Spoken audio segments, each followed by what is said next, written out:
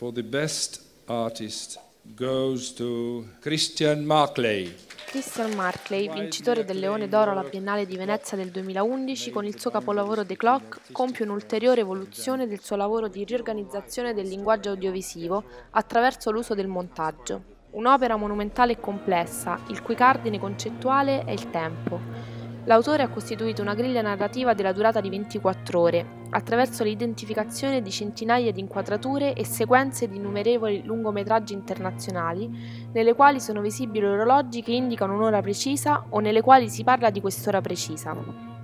Portato a termine questo processo di individuazione e selezione, ha collocato in maniera conseguenziale questi brani filmici, ricostruendo una vicenda basata sul racconto che dura un'intera giornata. Il risultato di questa operazione è veramente sorprendente, poiché nonostante le ispezioni derivino da prodotti audiovisivi totalmente differenti, per genere, epoca, stile, regia, recitazione, ambientazione, luce e aspetti cromatici, la sensazione che prova il fruitore è di una perfetta fluidità non solo a livello narrativo, ma anche a livello visivo.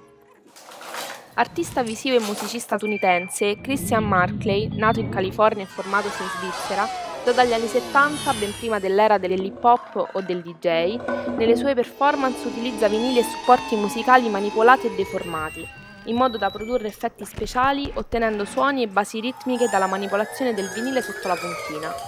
I suoi collage possono essere contemporaneamente brillanti, tecnologici e realistici. Markley emerge nella scena artistica di New York dei primi anni Ottanta usando la musica come collante di una complessa ricerca multimediale. È proprio la transdisciplinarietà della sua produzione gli vale il successo sia nel mondo dell'arte contemporanea sia in quello della musica avanguardia e della cultura pop. La tecnica su cui si basa l'arte del DJ è il collage, che qui diventa uno strumento per sperimentare tanto con il sonoro quanto con il bidimensionale e l'audiovisivo. Il principio che regola il collage, su carta, con i suoni o sullo schermo, è l'effetto fuorisincro, generato dalla combinazione di frammenti di origine diversa. Di fronte a una discrepanza tra suoni, tra immagini tra suoni e immagini, lo spettatore è chiamato ad assumere una posizione attiva, avvertendo la responsabilità di sincronizzare l'oggetto mediale e trovare una, un proprio percorso di soluzione. L'americano Christian Markley lavora e continua a lavorare sullo stesso concetto di decostruzione e ricostruzione della logica del racconto filmico, Esempio concreto di questa sua pratica Hello? creativa è Telephones, un'opera edificata su sequenze basate su conversazioni telefoniche di attori che rispondono al telefono in film hollywoodiani, rimontati in modo assolutamente arbitrario. Una colonna sonora di suoni accuratamente dosata si snoda lungo i frequenti stacchi dei film, conferendole una coerenza ritmica da cui solo le instabili immagini sullo schermo non paiono sottrarsi. In Video Quartet, Markley combina frammenti da noti film hollywoodiani di cui è protagonista il suono, musica, canto e rumore e li proietta differenziati sui quattro grandi schermi. I frammenti audiovisivi sembrano essere stati archiviati dall'artista secondo canoni oggettivi, per l'appartenenza del suono ad una data famiglia o catalogati come libri sugli scaffali di una biblioteca.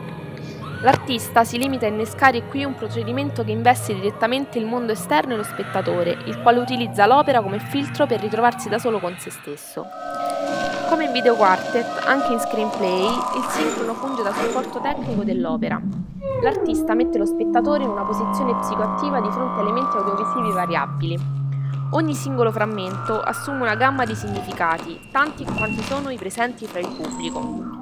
Dispersi nel buio della sala di proiezione, gli spettatori prendono le distanze l'uno dall'altro, varcano ponti diretti verso il loro passato e si arrampicano su pareti di specchi in cui la loro immagine è ripetuta all'infinito. Screenplay consiste nella formulazione di un'esperienza e ogni attimo durante l'audiovisione assume un volume variabile a seconda di chi lo occupa. Guardare indietro per andare avanti potrebbe essere il payoff che riassume in poche parole una serie di trend culturali relativamente recenti. Allo stesso modo, Christian Markley, artista che mescola viste d'udito, si affida ad uno strumento quasi dimenticato, la cianotipia. Per una serie di opere in cui i nastri delle vecchie musicassette, altro strumento quasi dimenticato, vengono utilizzati per creare composizioni randomiche attraverso un processo che scomoda paragoni con Pollock. Confezionato dagli svizzeri di Norm in collaborazione con l'artista, Chano Types include un approfondimento sul processo utilizzato da Markley ad una breve essay in cui l'artista reclama la musicassetta come uno strumento di astrazione visiva.